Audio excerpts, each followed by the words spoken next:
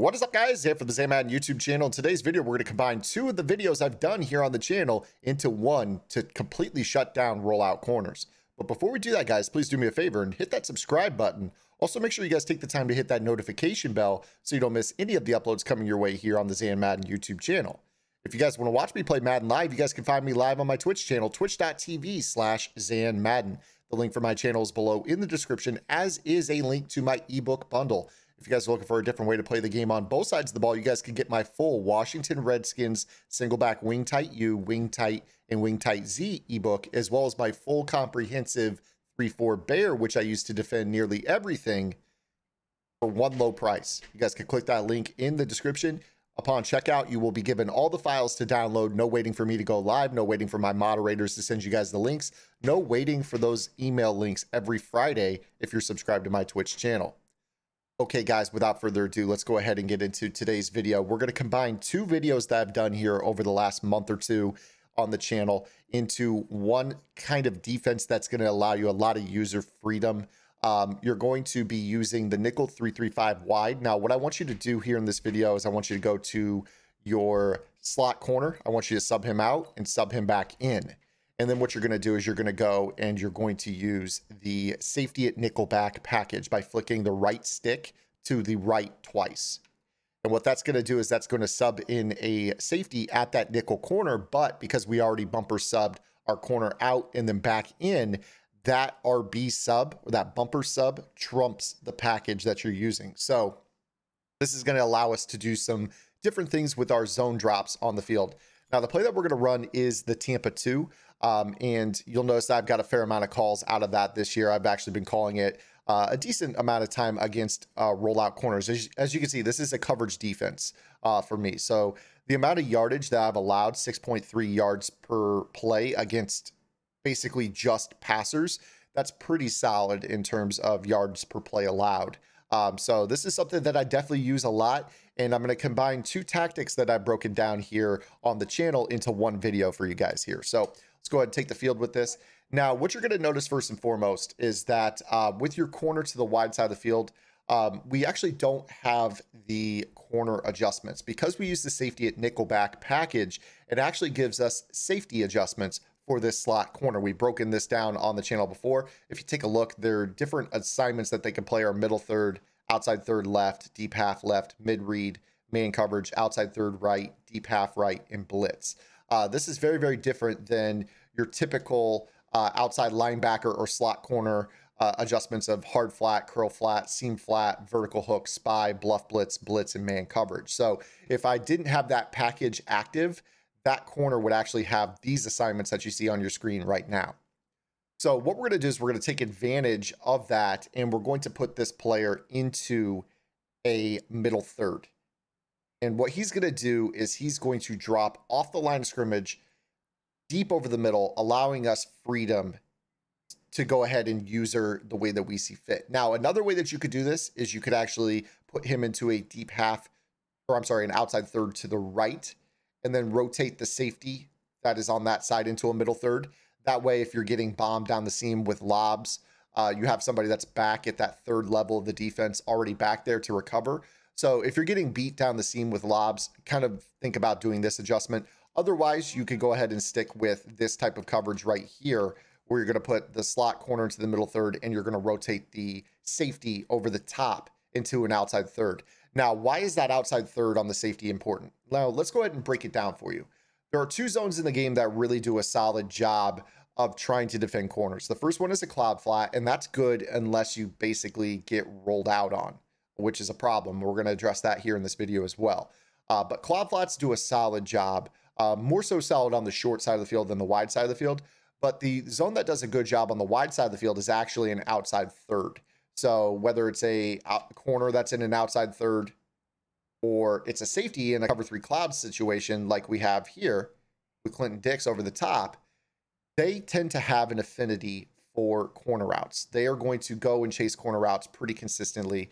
Uh, and you're, what you're trying to do is put two zones on the field that are going to pinch or bracket that route uh, just so you can get those catch and traffic penalties on the receiver as the ball is thrown. So uh, when you think about it, you want a, a, route or a zone that's breaking down on that, and you want a zone that's breaking back on it.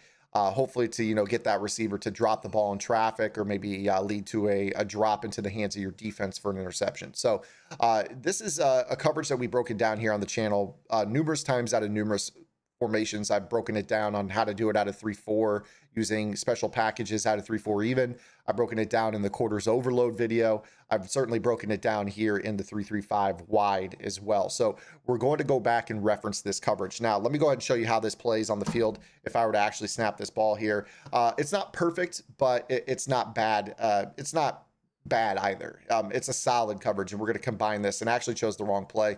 But just in principle, we're going to try to show you the rollout corner. Like if I try to go and throw that, you see how you basically have Eddie Jackson there. You've got the cloud flat, and it does exactly what I talked about. It pinches it, catches him in the air, and he drops the ball. Now there are better corners than others in general. So let me go back to the play call menu uh, and kind of show that to you as well. So um, if I go into everybody knows the Saints offense, this gun tight offset tight end, and the play that everyone runs is Saints halfback wheel. Uh, and the reason people love this play, um, and I'm going to try to go ahead and sub the, the tight end out here. So I'm going to put in receivers. Uh, let's go ahead and do that. We'll go ahead and use the, I want to say it's a tight end package. Yeah, there we go. Tight end left uh, to get a receiver, a better route runner on the field here uh, to the wide side. So again, we're going to go back to the play call menu on defense, and you are running the nickel 335 wide safety nickel back package, and you want the nickel corner to the wide side of the field, Tampa 2. And all we're doing is we're basically putting that uh, outside safety on the wide side into an outside third, and you're dropping this nickel corner down the middle uh, to try to pinch that throw. So we go back to this play here. Uh, you see, we got this little corner route. Everybody likes to set up, you know, a rollout, right? So they slide protect away from the rollout side. They double team the end, and then they put the Mike on the edge rusher to try to cut block him. And what that ends up with oftentimes is kind of a cut block animation, and then they roll out and they try to chuck this corner out. And you see right there how the zone actually plays it well. So the zone is very good. The zone is very, very good. That outside third will do a solid job at taking away that rollout corner to the wide side of the field. But what you saw very clearly was that our cloud flat vacated on this play due to the cut block.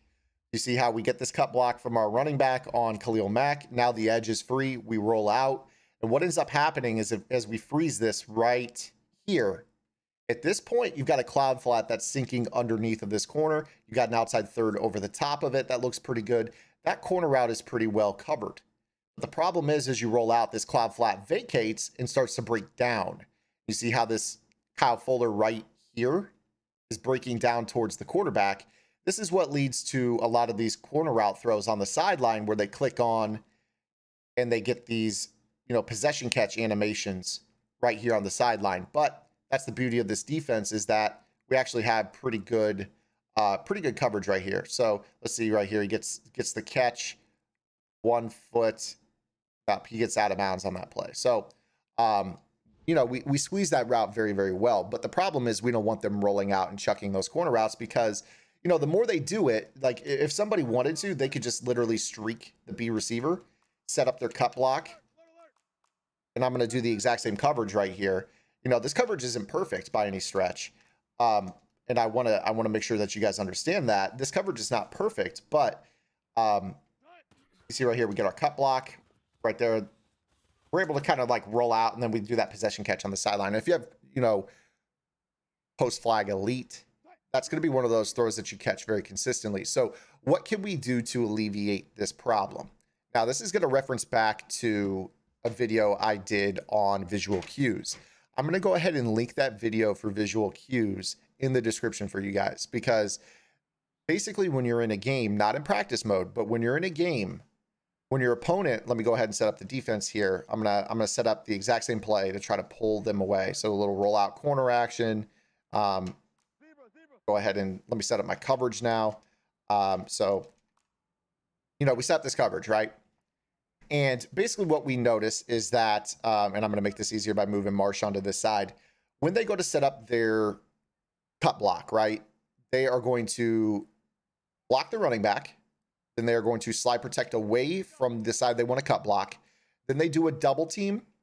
And then they're going to do an ID the Mike. Now, when they go to the ID the Mike phase and they hit A to select, you won't notice this in practice mode, but you will definitely notice it in game that the quarterback will point. The quarterback will immediately point to the side that he wants to ID to. If he points to the right, that means more often than not, they're going to cut block and roll to the right.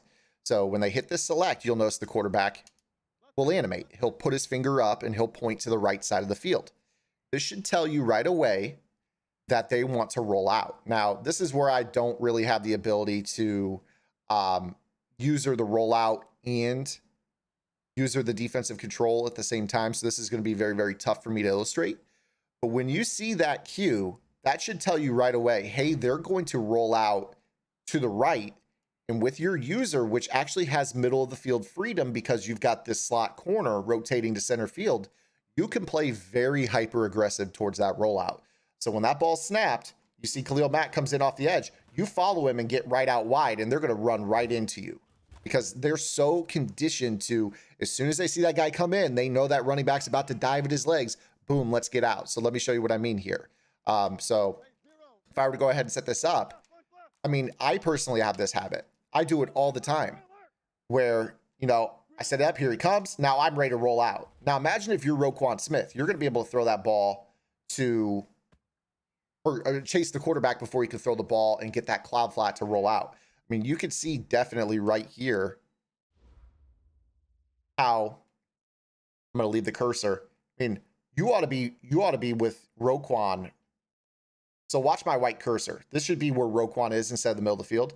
As he roll, as you see this animation happen, you should literally, and this is hard to control here, you should literally be scraping, having a real hard time controlling this. Uh, you should be scraping with this user to get out here into this area and and shut him down before he can get out to the numbers. Because you'll notice that once he gets out to the numbers, right about boom there, you notice that that's where the cloud flat drops off. So where your target should be on any rollout is literally a step away from the numbers. Right here is where you need to really meet them in the hole. You should be hitting him right here. Because if he gets to this spot, you see right there as Russ crosses through it. That's where the cloud flat stops covering because now he's worried about the rollout and he wants to go down and get the quarterback. So with your user, again, I'm the white, I'm the white circle here. With your user, as soon as you see this action, you need to be meeting him right basically. Honestly, if you could meet him earlier, that's better. I usually with this, I will take when I decide to manually rush, I will basically do an action and I'll just do it with the, with the defensive controller here. Uh, let me go ahead and set up the, the rollout again here. So I see him right here when he goes to ID the Mike. Boom. He points to the right. That says, okay, roll out right. When that ball is snapped, I'm instantly getting around edge, like meeting right here. And you see, like, it's going to just keep them in the pocket where now they can't roll out and suck down that cloud flat. And now you've disrupt the timing of how their progression goes because a lot of those players want to roll out to the wide side of the field, look for that corner, and then their entire read off of that is a backside in route or a tight end delay fade or maybe some sort of playmaker hitch up the field. If you keep them in the pocket on those designed rollout plays, it completely derails how they they make those plays because the route progression is great when you move the pocket, you know, all the way out to the numbers, but that route progression is honestly terrible when you're standing in the pocket because you don't have the same throwing lanes. If you think about it, when you roll that pocket, that area between hook zones is different when you're throwing it back across the field versus over the middle. Um, it's all about throwing lanes. So hopefully this video was informational for you guys. I do apologize because I really haven't been able to master the art of rolling out and using the rollout at the same time. I think that's more of a, a genetics problem than anything. Uh, but uh, hopefully you guys understand what I'm trying to, to show you guys here. Again, the defense that we are in is the nickel 335 wide Tampa 2 safety at nickelback package, but you can put a nickel corner there. And all we are doing is setting up a cloud coverage to the wide side or the rollout side of the field. Now, if you wanted to, you could actually go ahead and do something like this. You could you could go ahead and put outside third right, outside third left, and then you've got, you know, the, the entire middle of the field is going to be yours to user at the start. And then of course, when they point, you know, if they point over to, let's say for instance, they they decide to point to the uh, the left or whatever. So, you know, they they want to roll out uh, and they do their slide protect double team, and then they ID the Mike over here. Boom, he's going to point to the left. that ball snapped, you literally can take this rush angle and meet them right there on the edge. They're not going to be able to roll out to that side. So just kind of keep that in mind as well. You can play both those safeties and outside thirds to pinch corners to either side. So if you're worried about you know a corner out to both sides, that would be the answer for that defense. But hopefully this video helped you guys out. If you have any questions, definitely be sure to drop them below. Appreciate all the support on the channel. Make sure you guys hit that subscribe button, hit that like button. We'll see you guys tomorrow with our next video upload. Until then, this is Zan. Get in the lab and good luck.